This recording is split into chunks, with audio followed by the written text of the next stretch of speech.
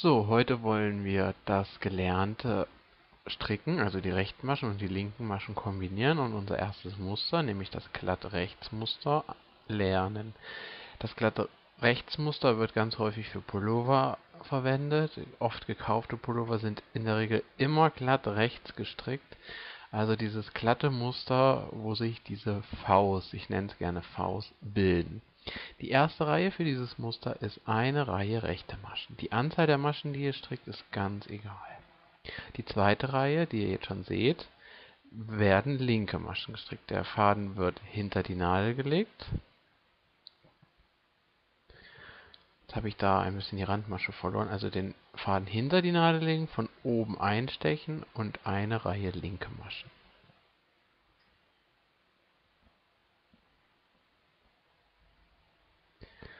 Dieses Glatt-Rechts-Muster nennt man Glatt-Rechts auf der Vorderseite, also die Seite, die nach außen ist, die sichtbar ist. Nach innen her nennt man dieses Muster Glatt-Links-Muster.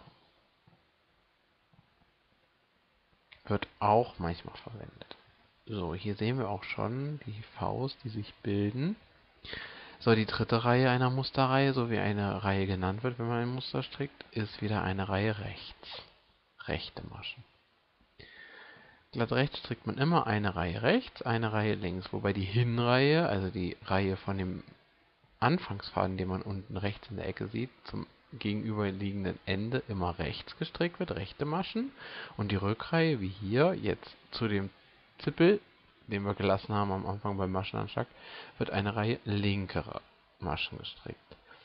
Wenn ihr gerade hingesehen habt, habt ihr gesehen, dass ich jetzt die Randmasche rechts gestrickt habe. Irgendwann fängt man an, Randmaschen zu stricken und auch da eine Technik zu verwenden.